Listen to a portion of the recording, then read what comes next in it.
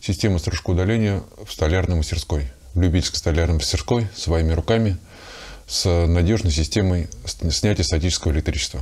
Одну такую систему я уже показывал. Сейчас сделаю новую. Приглашаю вас поучаствовать. Здравствуйте, меня зовут Юрий, и я рад вас всех приветствовать.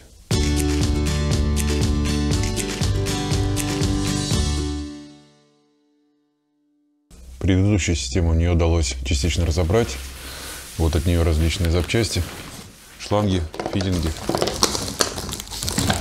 В том числе шиберы, которые я делал своими руками. Процесс изготовления этих шиберов я не показывал, но зато есть трехмерная модель, полноценная трехмерная модель, которая размещена на моей странице на ресурсе кетчапа.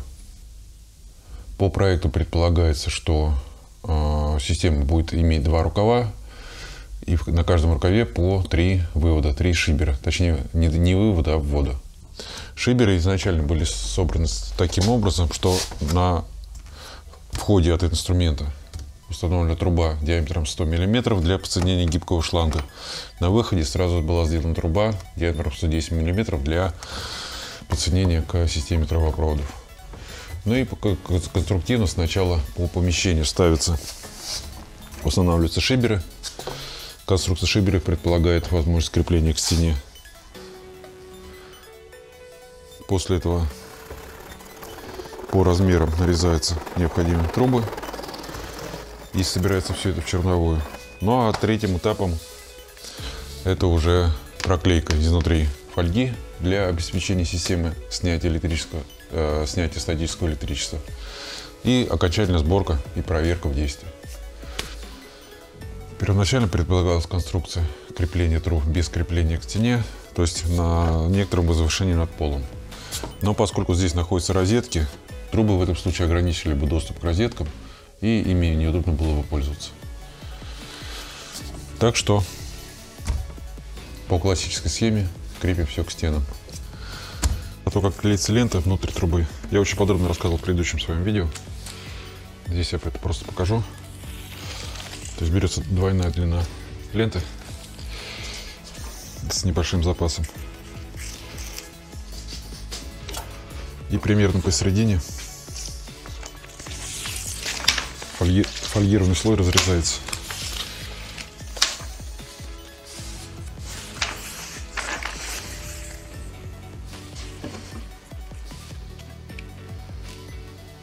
Можно просто процарапать острием ножа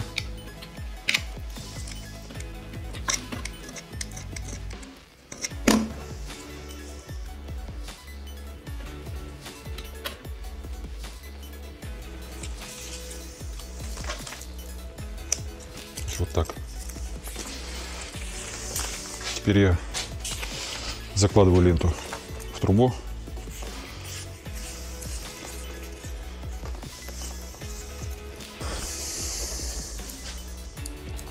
Отрываю здесь один слой, кончик.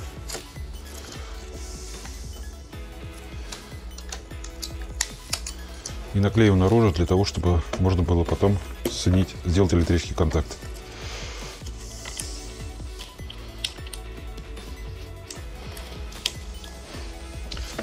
После этого за другой конец.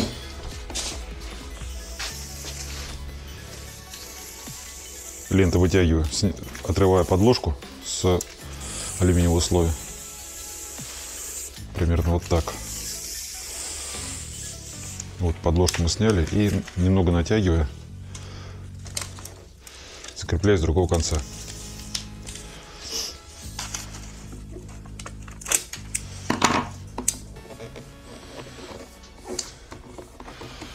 Соответственно, если труба короткая, то можно разгладить ее рукой.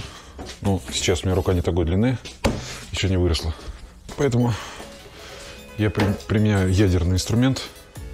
Это самодельный шомпол, которым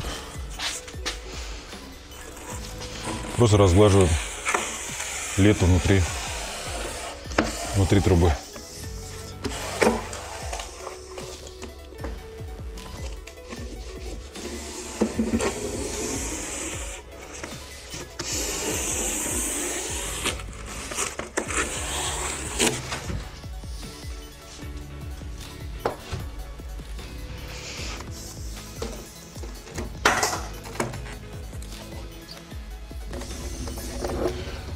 Надеюсь, видно.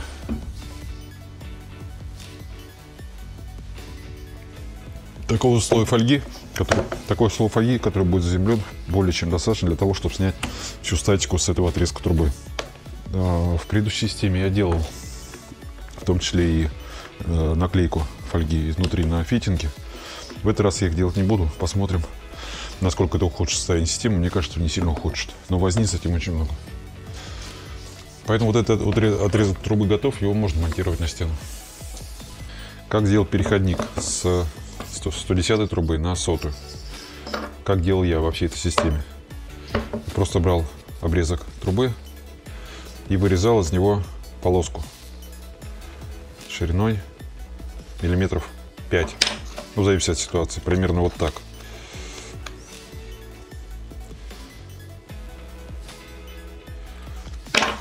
Соответственно, этот отрезок вставлял внутрь.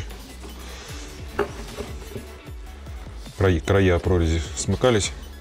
И внутрь уже вставлял непосредственно фитинг. В данном случае было отрезано даже немножко больше, но поскольку все это обычно заматывается еще изоляцией для уплотнения, то этого ничего не видно. Все, ничего покупать не нужно. Я внес изменения в электрическую схему управления двигателем стружка отсоса, поставил туда контактор, и теперь у меня есть возможность поставить выключатели для, для включения и выключения стружка отсоса те места по мастерской, где мне это будет удобно.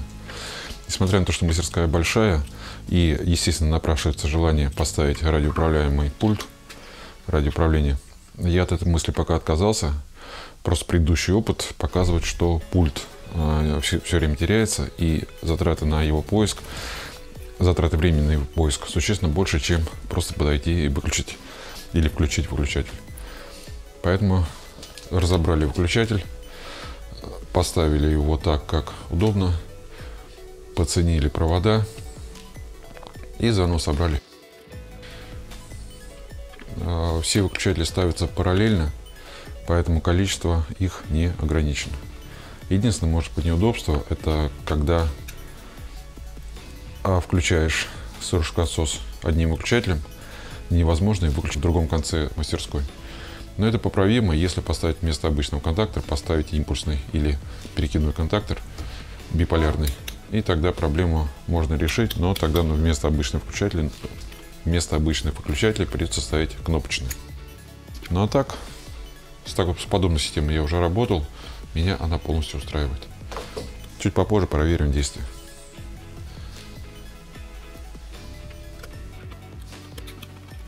Изменения в электрической схеме стружка отсоса и использование контракт, контактора обусловлено тем, что цепи управления для выключателей возможно в этом случае тянуть самым тонким проводом, поскольку они не являются силовыми. Если использовать выключатели напрямую, без использования контакта, тогда придется по всем выключателям тянуть полноценный провод 2 на 1,5 или 2 на 2,5.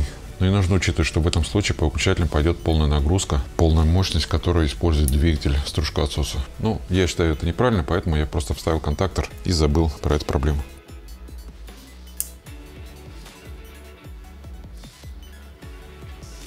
Для тех, кто хочет написать в комментариях о том, что я недостаточно подробно все это показываю, рассказываю, я хотел бы еще раз повторить.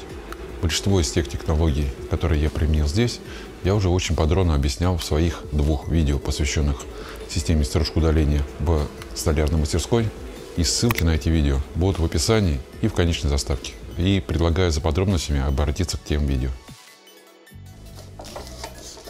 Ну и можно провести первое испытание системы. Фуганок.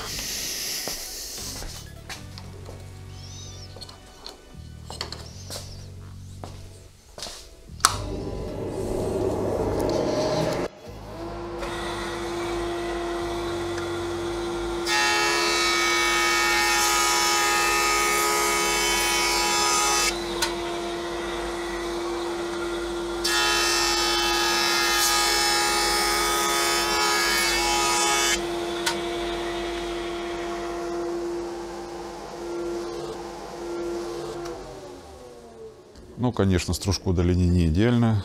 Какая-то опилка все равно летит под станок. Но мешок собирается. Здесь чистота. Система работает. Всего хорошего. До свидания.